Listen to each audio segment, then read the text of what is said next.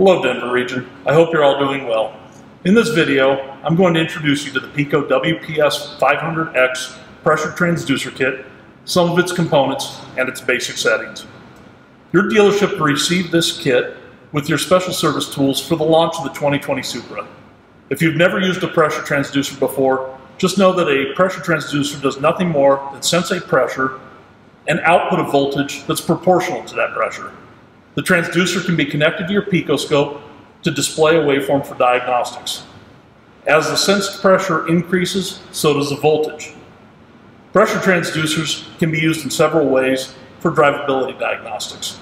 With a pressure transducer, you can test compression, fuel pressure, exhaust pulses, intake pulses, and a variety of other pressures. Pressure transducers are far more responsive than a gauge and can identify problems that a gauge cannot.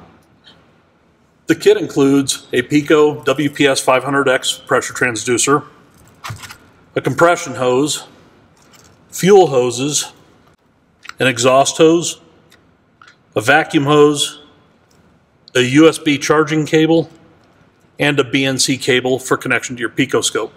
The WPS 500X uses a rechargeable lithium polymer battery and is charged with the included USB charging cable by connecting to the USB port on the side of the transducer. Prior to using the transducer, charge the battery for at least five hours. To measure pressure, connect the appropriate hose to the inlet port of the transducer.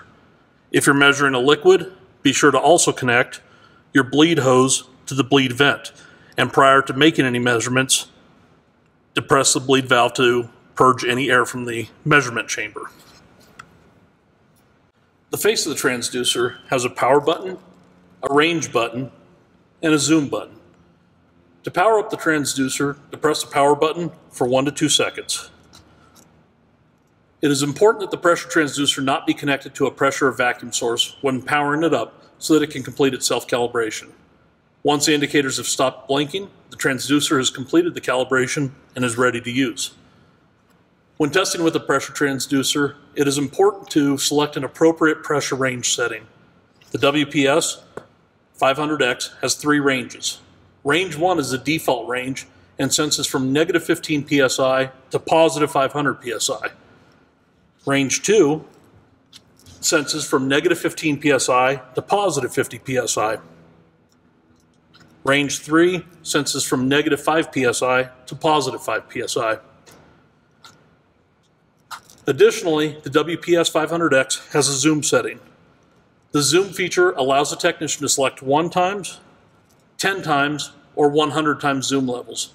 The 1 time zoom level is the default and is sufficient for most tests.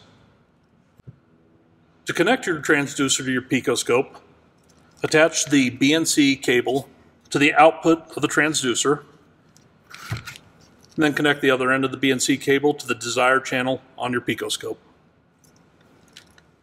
In the next video, I'll discuss how to set up your picoscope to display a waveform. Thank you for your time and stay safe.